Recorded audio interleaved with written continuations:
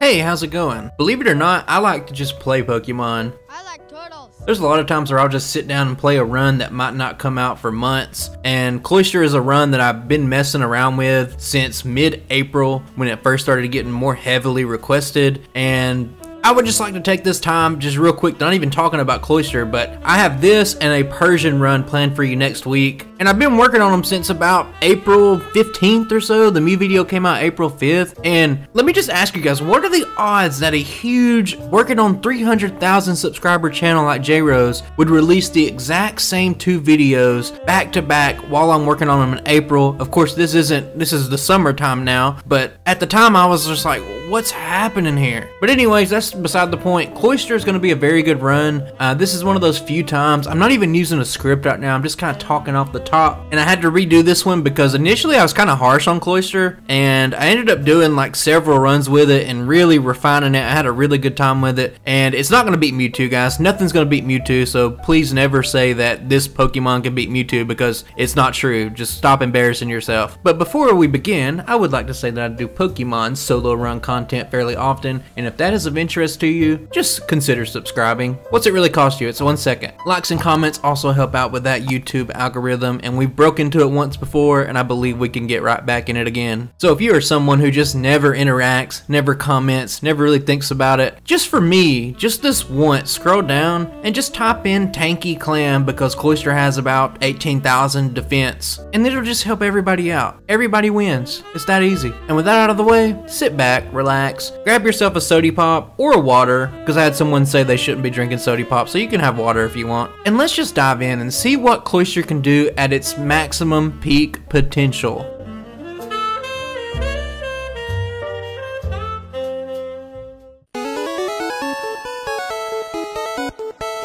Like with all my runs, I make sure our little clam has perfect DVs, and for this run, I'm going to be using the name Broodwich because I like using references from Aqua Teen Hunger Force. That came out in 2003. I choose this name because Cloyster's back sprite is kind of weird, to say the least. It looks like some sort of weird sandwich, and the spiky horn type things on the top look like the Broodwich from the episode I'm talking about. And I'm also giving the rival Bulbasaur today because late game Razor Leaf easily provides the biggest threat. The start of the game is very simple. Cloyster starts off with some solid moves, but more importantly, it's pretty much tailor-made to crush Brock.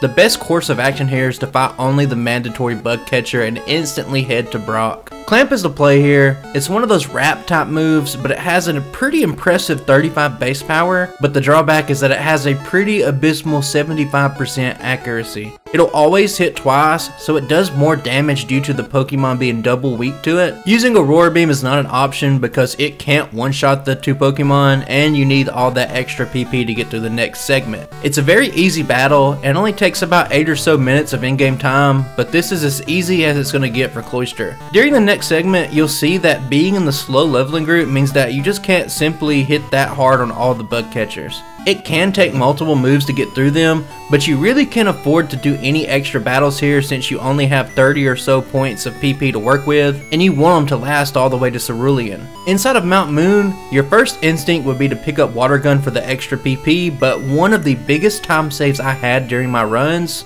was just simply not to waste the time. It seems like a pretty short walk to get it, but since you don't have access to repels yet, this part can easily add a minute or two to the final time. Now let's get to some of the nitty gritty parts of the run.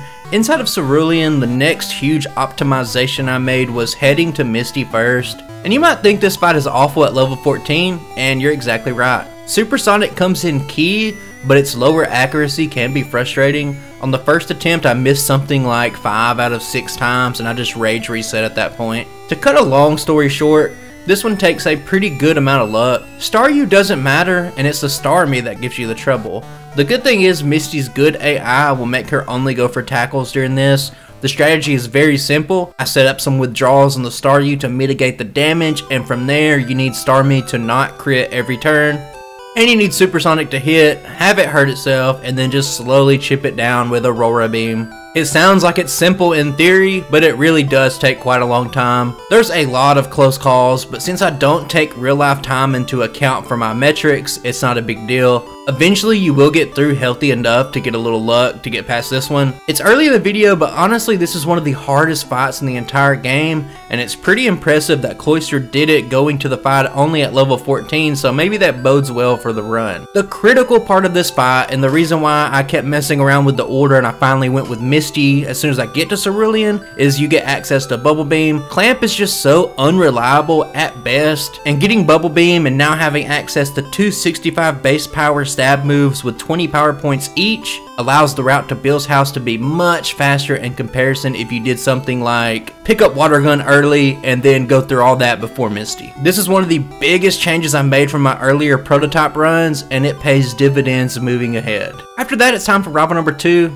This fight is nothing compared to Misty, and there's not much in-depth commentary here. Having a super effective answer for Pidgeotto is always a plus, and even though I get low, I keep moving on, I get through the fight. The Bill segment is honestly boring, but it does give us some much needed levels to catch up. And now we can just zoom ahead to the SS Anne, and it's really unfortunate that Cloyster can't get Body Slam because it would help out a good bit, but I do pick up the rare candy guarded by the gentleman with the fire types. It's fast and it's easy, but after doing so many runs, I needed to cut time, and I figured dropping one of the 11 rare candies was another way to. I decided this would be faster than getting the optional rare candy inside of Victory Road way later, but I do have to admit that I didn't scientifically test it, and I'm just kind of going off a feel for that. Either way, rival number 3 is next. It's about the same as last time, but I'm a decent amount stronger now. You can immediately see where Body Slam on Kadabra would have helped out, and Kadabra combined with Ivysaur do get us fairly low, but it's just not enough to prevent a first turn victory. But let's take a look ahead at some of the more run-defining moments. But first guys, we get blessed. It's Tombstoner Tom on this run. Everybody say hi to Tombstoner Tom in the comments, please. With that said, any run that's going to compete and be at the top cannot be doing any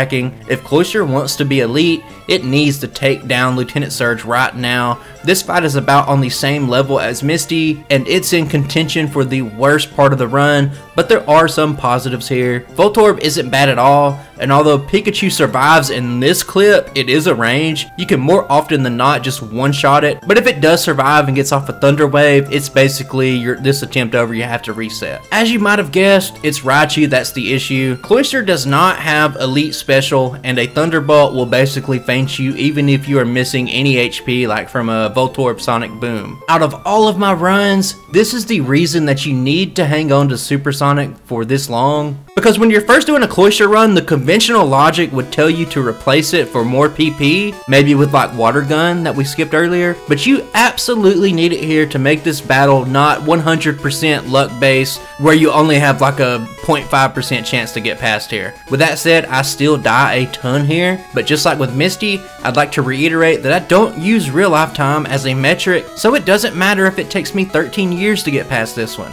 Eventually, I get past, and it looks really bad. I take a Thunderbolt, I go all the way down to 3 HP, but I get off a Supersonic. Raichu hurts itself twice, and then some Bubble Beams add up to finally get past this one. This is a huge test, and on some other runs, I did things like pick up extra battles so that I could be a higher level, but honestly, it just didn't help that much. Being able to do it without the extra battles goes a very long way in the success of this run, but let's keep it moving. Even without coverage moves, Rock Tunnel is very easy, it's very boring, so let's cut ahead to Celadon as we inch closer to that mid game. The first huge optimization I made here is that you'll notice that I skipped the Poke Center for now. Out of the multiple runs, there's really nothing absolutely necessary that will save us a ton of time, but we will come back to this later, so let's hold off talking about it until then. From there, I quickly tackle the rocket hideout, and there are some key changes I refined in this very last run. The first is that I pick up an optional battle and I pick up double edge.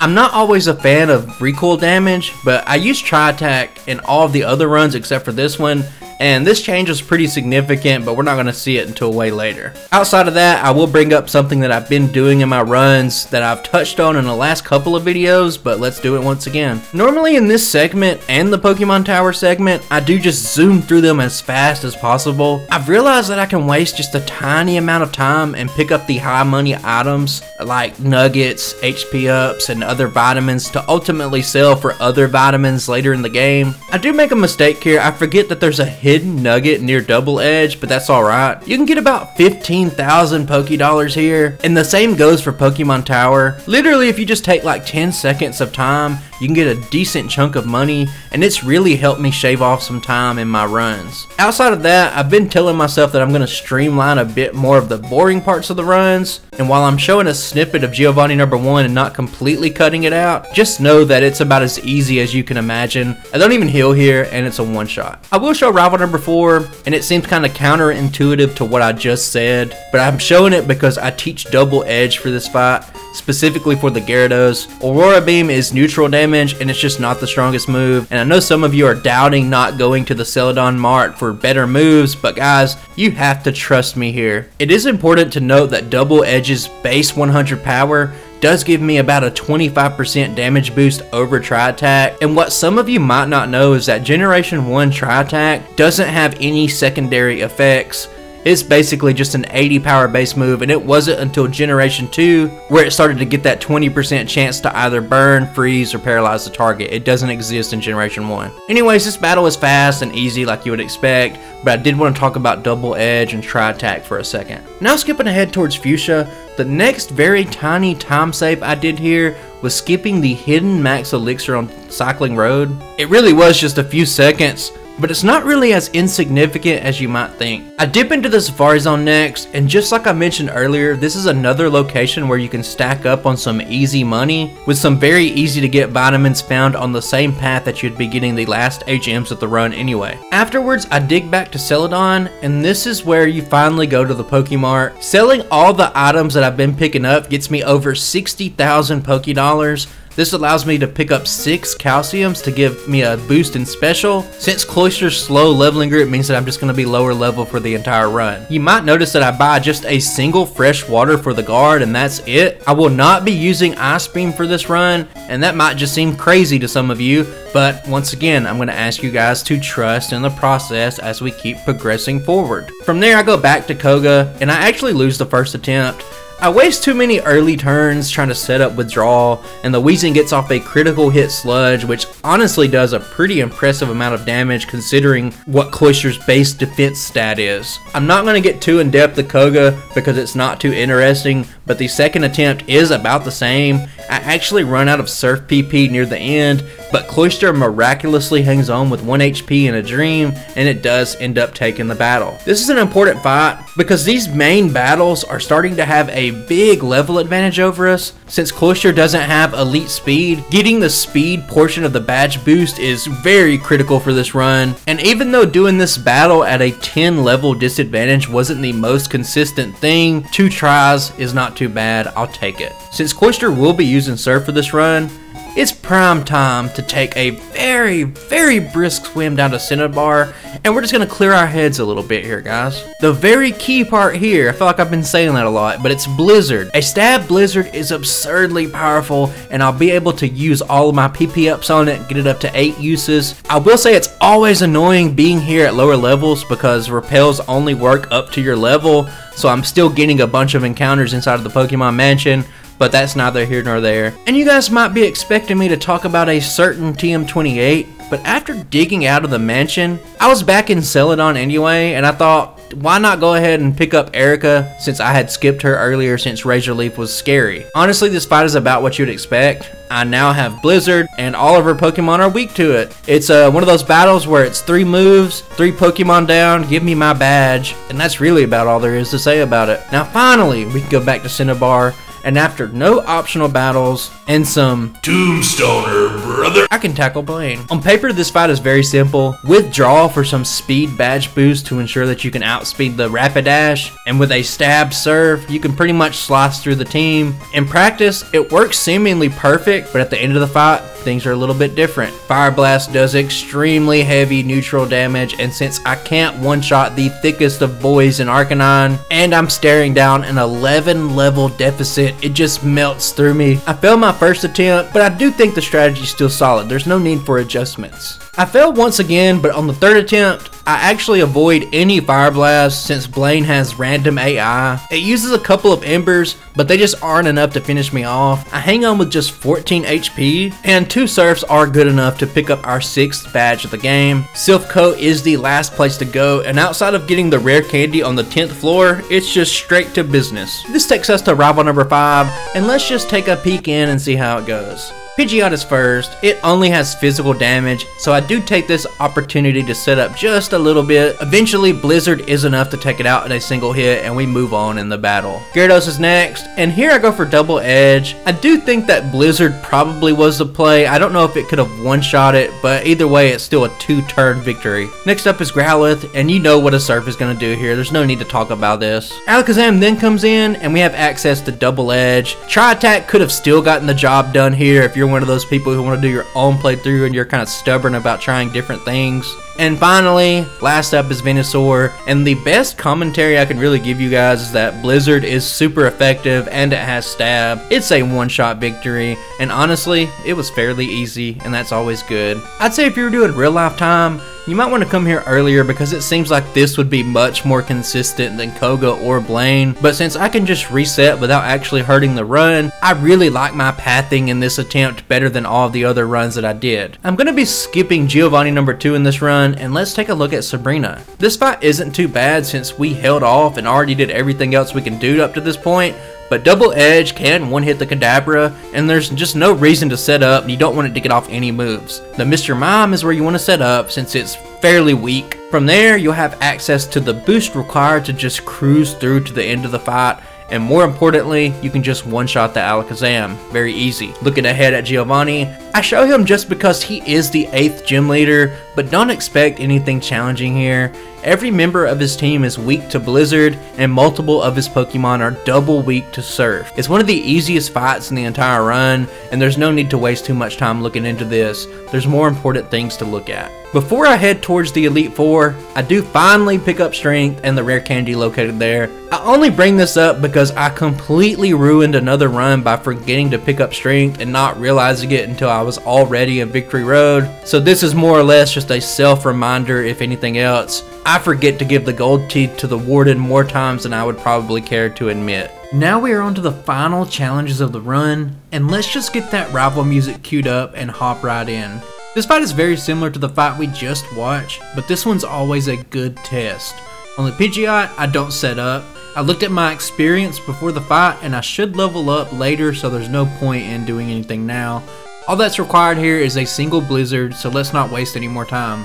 Rhyhorn is up next. It's double weak to Surf, so you just know the outcome already, but the important thing is that this is where we level up to 43. Here on the Gyarados, I, I just make a huge mistake. I try to set up, and while Cloyster has the top defense in the entire game, it has a pretty pathetic HP stat, so Dragon Rages just quickly add up. Before I can realize my blunder, I just get taken out, and that's a reset. So let's jump right back into Gyarados on the attempt number 2. I really just don't learn my lesson here. I still go to set up at first, and it's fine because all it's doing is using some leers to help me out, but I just keep pressing my luck. Eventually it does start going for Dragon Rages again. I sort of fumble my way through this fight.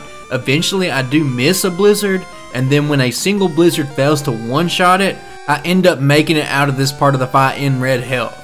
Growlithe is insignificant, so there's really not much to say, but when it comes to the Alakazam, the huge problem right now is recoil damage.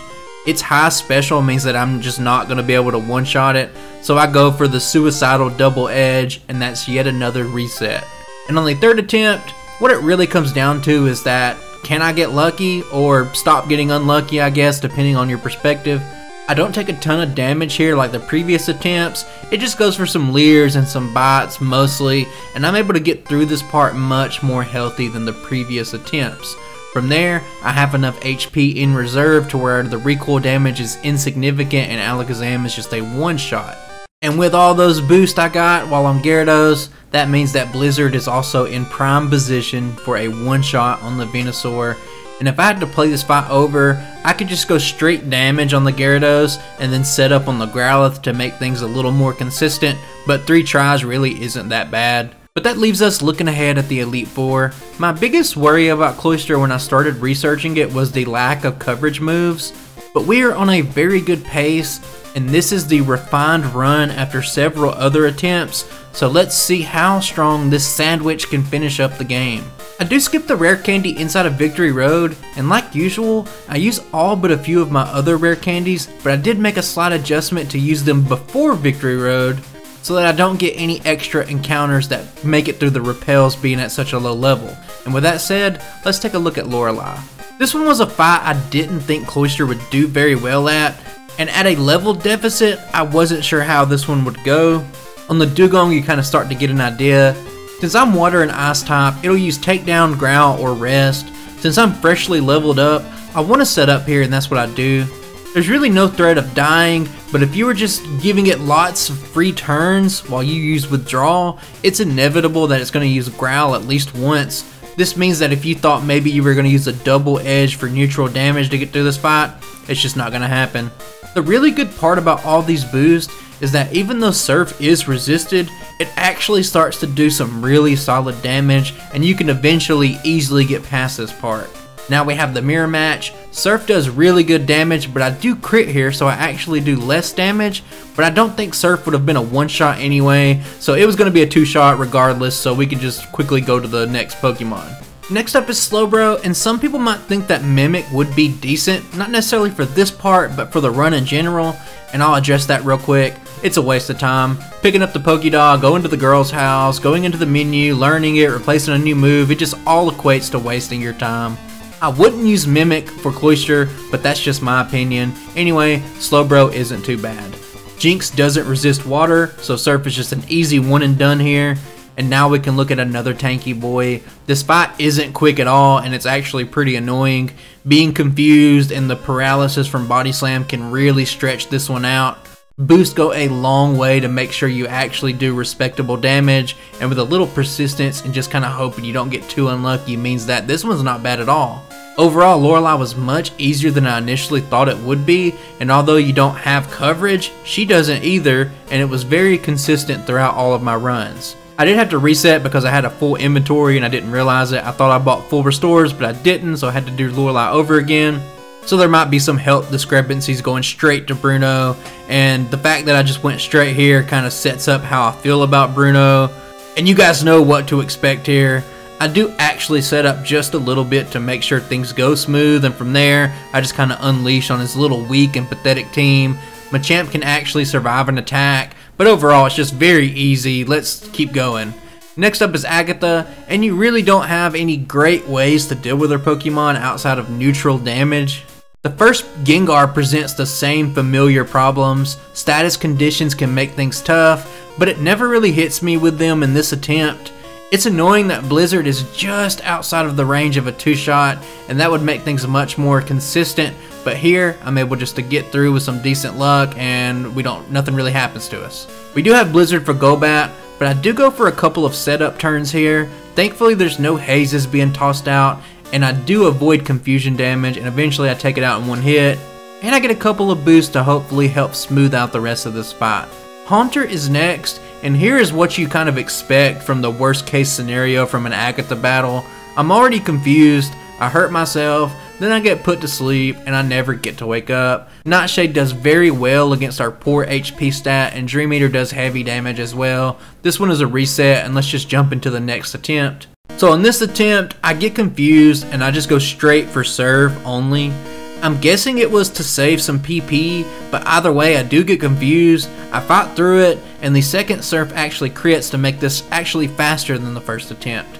I'm skipping over the Golbat straight into the Haunter. It starts out the same way. I'm already confused, I hurt myself, but this time I don't get put to sleep.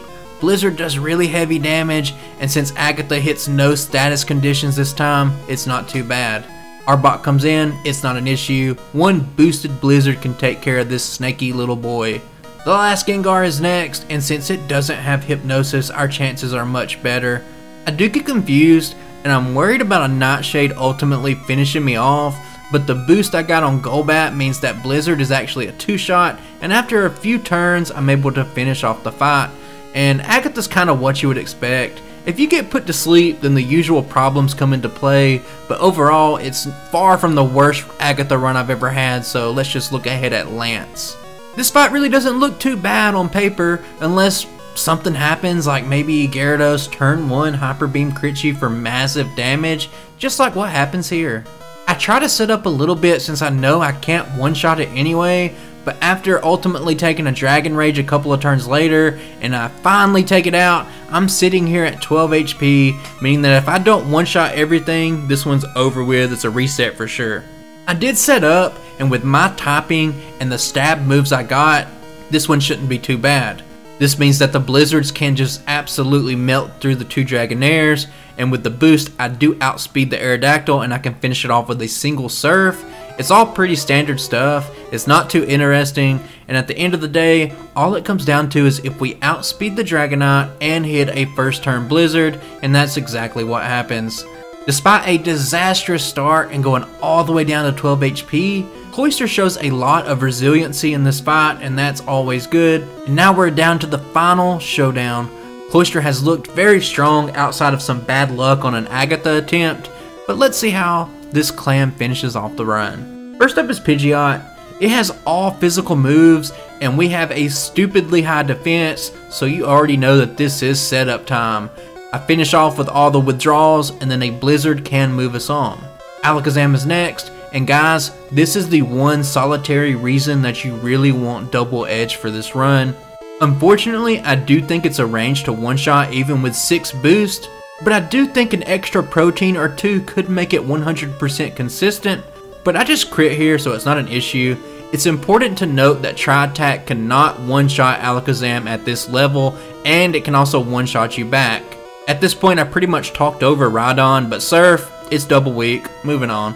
Now it's time for Gyarados, and it's still a menace. Blizzard cannot one-shot it even through the boost, but all it does on its turn is go for a Leer, and I can finish it off after. The thickest of boys is up next, and Surf is enough here to be a one and done, and that's what we like to see.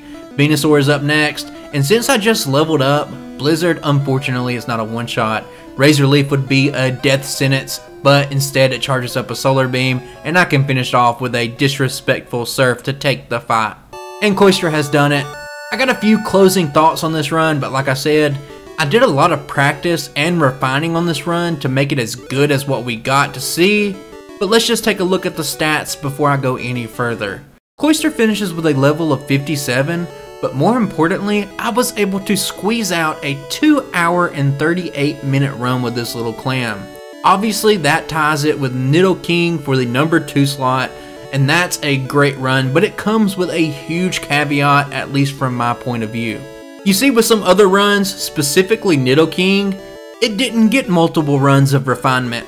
I practiced the Brock segment a little bit, and then I just sort of winged it, and I let the time stand since it was number one at the time.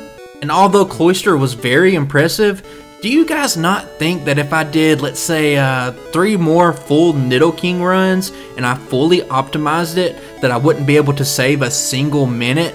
I'd be willing to bet that I might be able to save like five minutes. And for that reason, I have to put Cloyster in the third slot.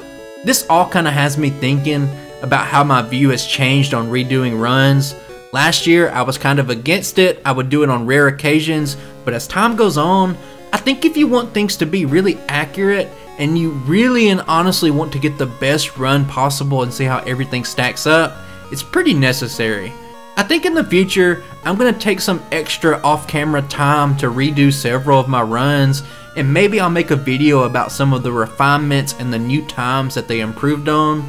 This mainly applies for Pokemon at the top, we're talking about Mewtwo, Alakazam, Nidoking, maybe Machamp, Snorlax even, Gastly, Gengar, stuff like that. I think they could all be improved with all the stuff I've learned over this past year, but I'll see how I feel about playing that much extra Pokemon. Either way, I'm man enough to admit that I was kind of wrong about Cloyster. I didn't think it would be this good. It did take a lot of runs and pretty much perfect optimization but it was able to tie itself way up there with Nidoking, at least for now. Looking ahead, there are still a lot of requests you guys have asked for. I still have like 5 Kangaskhan requests, I got several Jynx requests, but Persian is the video for next week. Bingus always needs his Floppa. And if you made it this far, I just have to say real quick, and I'll probably repeat this on the next video, what are the odds that J-Rose would do two videos in a week and those two videos be the exact two projects that I've been working on slowly since about mid-April. It's a little improbable, but that's probably it's probably just a strange coincidence, or at least that's what my girlfriend told me. J Rose, are you listening right now, buddy? I'm joking, all jokes aside, but that's about all I got for you. I'd like to give a special shout out to Not Gaming, the person that requested this run about a million times, and if you haven't already done it multiple times, please stop replying to random comments and just leave your own. I can't stress enough how much harder it is to see your comments when I don't get a notification for it. But I digress. Not gaming, leave your own comments. The rest of you, have a great end to your week, and I guess I'll catch you guys on the next video. Bye!